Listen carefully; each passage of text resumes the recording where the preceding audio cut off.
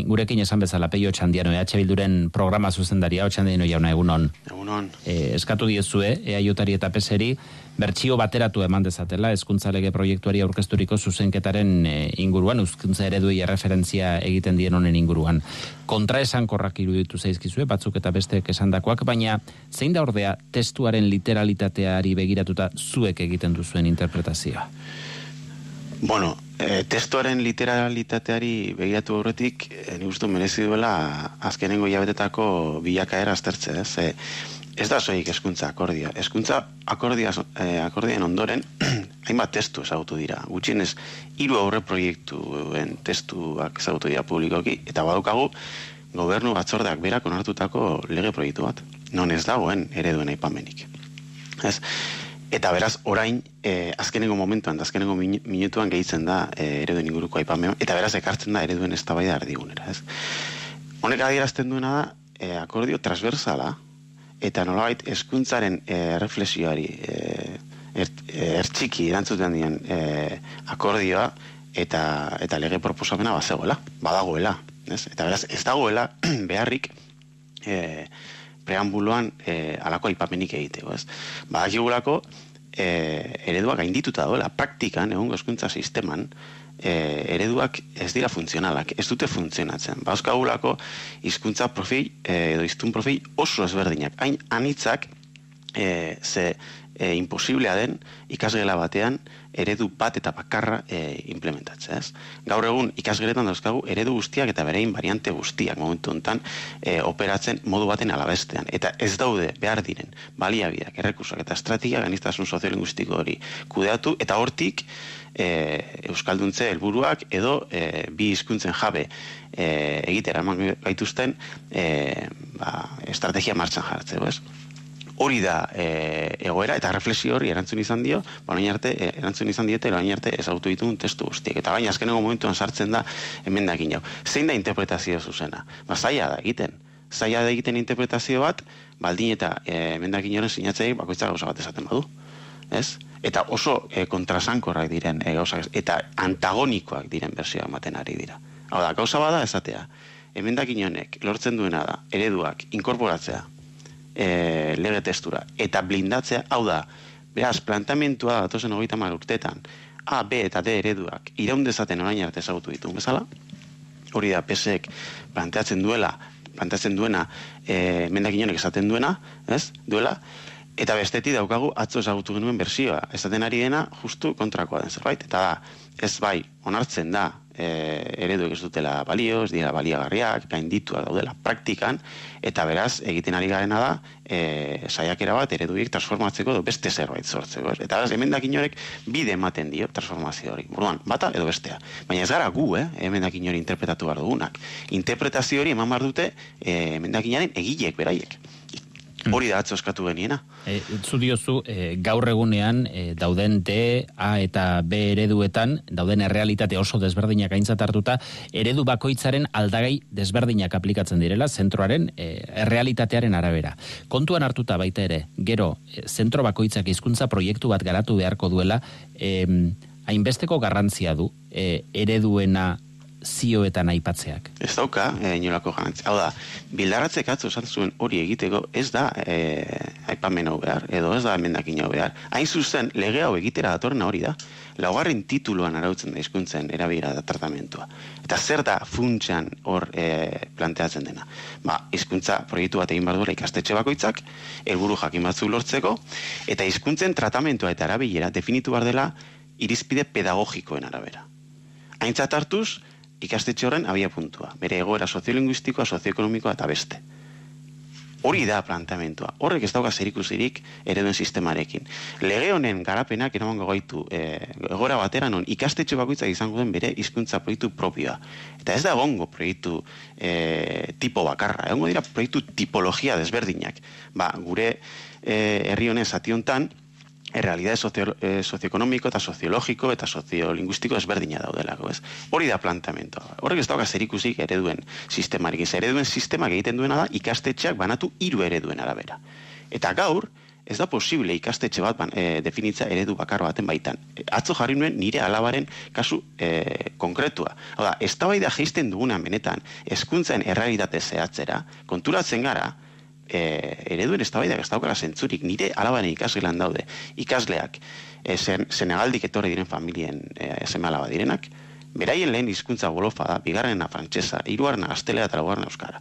Daude Pakistandik etorri diren e, gurasoen e, seme alabak. Lehen hizkuntza da urdua, bigarrena da e, gaztelea, hirugarrena inglesa eta laugarrena euskara. Eta orain berriki, adibidez, iritsi da Venezuelatik ikasle bat, ez duena sekula euskaraz hitz bakar bat entzun, eta monolingua da, ez? Ele bakarra da, gaztelera, baino ez du hitz egiten. Eta dago nire alaba sortzi urterekin, Euskaldun e, ele bakarra orain ari dena e, gaztelera ikasten hor, ikasgela hortan, momentu ontantxe, ze eredu ari da e, operatzen. Ba, A, B, D, ereduak, eta beraien e, e, aldaera e, guztiak, okurritzen zaizkigun guztiak. Eta irakasleek, gela hortan, ez daukate baliabiderik eta estrategiarik, e, anistasun soziolinguistiko hori kudeatu, eta e, bi hizkuntzen jabe izan daitezen e, ikaslea derrigorozko eskolaldeen bukaera. Hori da errealitate zehatza, eta hau da ikasgela tipo bat de ereduan, eh? Sare publikoan, momentu enten, eskuntza sisteman, baina orokorra dena, eta geroz eta gehiago izango da e, egoera horrelakoa. Beraz, errealitate hortan operatzeko eta etorkizuneko euskal eskuntza ekitzeko, ereduek ze zentzu daukate. B, A, B, D ereduen sistemak ze zentzu dauka. Ez dauka, horregaitik gain zuzen ere, ez dauka zentzurik, ez da bai dago abiatzea, orain dela berrogi urte, definitu ziren tresna batzuen e, arabera, ez. Horrek ez dauka inolako zentzurik eta hor geunden hori zen hezkuntza e, eztabaidaren erreflexioa, abi e, nolait markoa, ez. Hor geunden ba, eren egun arte, eta horren jarri, jarri da nola baita eskuntzaen, ez da erdigunean, ereduak bai ala ez, mm. eguneratu behar diren bai ala ez, eta nola. Eta horrek ez dauka zentzurik, ze lege honek, bere garapen reglamentaria egiteko, ez du behar preambuloan inolako aipamenik eredu hoiei. E, kontua da negoziazio batean, e, eta luzetik datorren negoziazioa da, askotan akordiotara iristeko, e, behar izaten da, aurrean dagoenak, e, noraino iristeko aukera duen interpretatzea, edo eskatzen duena, zergatik eskatzen ote duen interpretatzea. Zergatik uste duzu alderdi sozialistaren dela garrantzitsua hizkuntza ereduei erreferentzia hau legetestuan biltzea? Nik uste dut horrek e, eskaera horrek edo marra gorri horrek exigentzia horrek azkenan gaiendu den exigentzia horrek momentuz. Hau da, hemen gertatu dena minoria batek, gutxiengo batek inposatu diola bere kriterio politikoa gehiengo bati. Eta kriterio politiko horrek ez dauka zerikusirik eskuntzen eztabaidarekin. Ze, alderdi sozialistak azkenengo hiru urtetan egon diren foro guztietan eta bira foroak pasatu ditugula, parlamentuan, eh? zenbat ponentzia, zenbat ponente, zenbat testu ezagutu ditugun. Alderdi sozialistak ez dio trabarik jarri e, eskuntza akordian adostutako helburuei. Eta helburuak dira, derrigorrezko eskolaldiaren bukaeran, ikasle guztiek eskulatu behar dute B, bi kompetentzia, bai euskaraz eta bai erderaz. Eta esan nahi du gauza bat, hau da Gernikako estatutuak 6.2 artikulan esaten duena. Ez gara ezer berririk asmatzen ari. Artikulu hortan esaten da, ziurtatu behar duela, ziurtatu behar dela bi hizkuntza ofizialen ezagutza. Administrazioak instituzio publikoek bi hizkuntza ofizialen ezagutza ziurtatu behar dutela. Hori aldi, alderdi sozialistak ez du hauzitan jarri hiru urteko dilubidontan. Eta orain, esaten ari da eredua blindatu behar diela. A, B eta D ereduak, eta denok dakigu A eta B ereduek ez dutela balio, eskuntza akordian adostu genituen helburu betetzeko. Hori inork ez du zalantzan jartzen eta berei badakite, eta beraz, zertara dator exigentzia hau. Zertara dator eredua blindatu behar izanaren, izatearen exigentzia hau. Ba, horrek ez dio erantzuten eskuntzan ez Bestelako interes batzuei erantzuten die e, exigentzia horrek, nabarmenki ez. Eta ze interes direla uste duzuzuk? Bueno, ba, nik uste dut, haute eskundak urbilegi daudela, eta hemen mundu guztia ari dela kalkulak egiten, eskuntza ez da hontan, segun eta ze bandera altxatu, ba horrek zenbat boska eman eta kentzen dizkigun. Ni uste dut hori horrela dela. Eta zoritxarrez, hemen interferentzia politiko kojuntural partidista gehieki ari dira sartzen jokoan, orain arteko eskuntza estabaiaren parametroak alteratzen ari direnak. Mhm. Eta hori hori oso larria da, ze lege hau estrategikoa da, hogeita mar urterako lege bat egiten ari gara hezkuntza fundamentala da. Herri herri eraikuntzan eta e, herri kohesioaren ikuspegitik. Eta nik, e, mendik, enplazamentu bat egingo genioke berriro, alderdi guztiei, benetan atxiki daitezen hezkuntza eztabaidara. Eta argudiatu ditzaten berein proposamenak eh hezkuntzari dagozkien argudien arabera. Nik oraindik e, nahiko nuke entzun alderdi sozialistak nola planteatzen duen kompatibleak egitea ereduak eta lagoaren titu. Adibidez, hau da e, inork alderdi sozialistaren partetik inork erantzun e, erantzun goztuen galdera bat ez daukalako erantzun posiblerik. Hau da, oso labur esango parkatu, eh? Laugarren tituloan e, arautzen da Euskara ardatz duen eredua eleaniztuna. Alderdi sozialistak esaten duenean eredua blindatzen direla emendakin horrekin, zeari da planteatzen.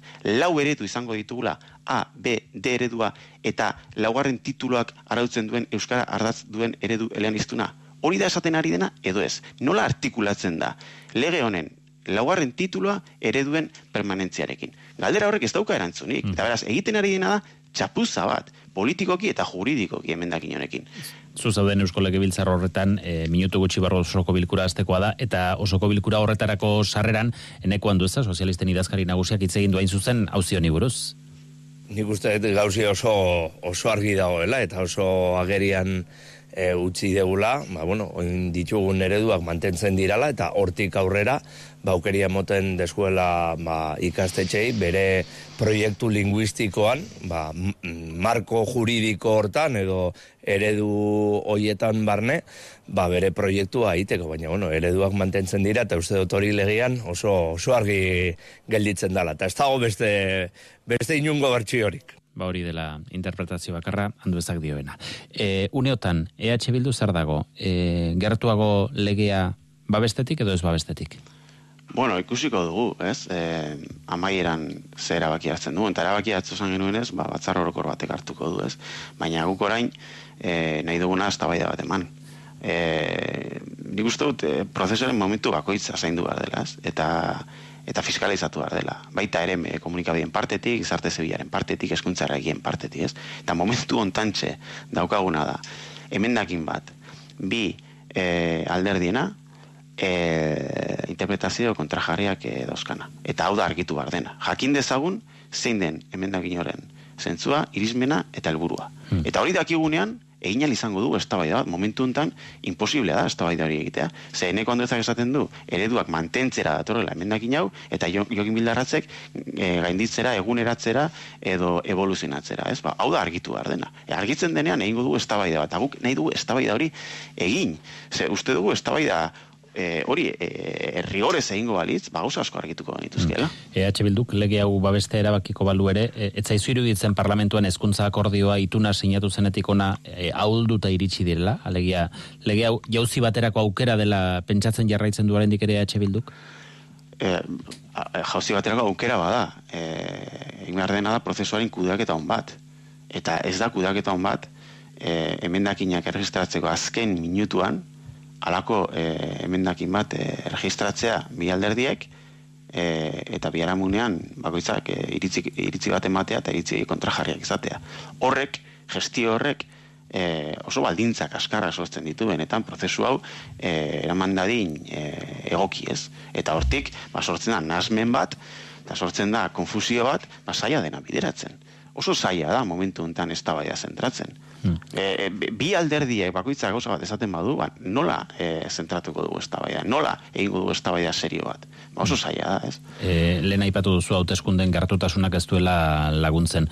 Aukera bat e, izan liteke, planteatzeko modukoa da legealdia le, amaitzea lege hau onartu gabe eta datorren legealdirako e, ustea e, sosesgu gehiagoz aztertzen jarraitzeko? Baina, urrengo legaldi garako utziko balitz, lege hau ze berme dago benetan prozesu hau azken buraino e, iritsiko litzategenik.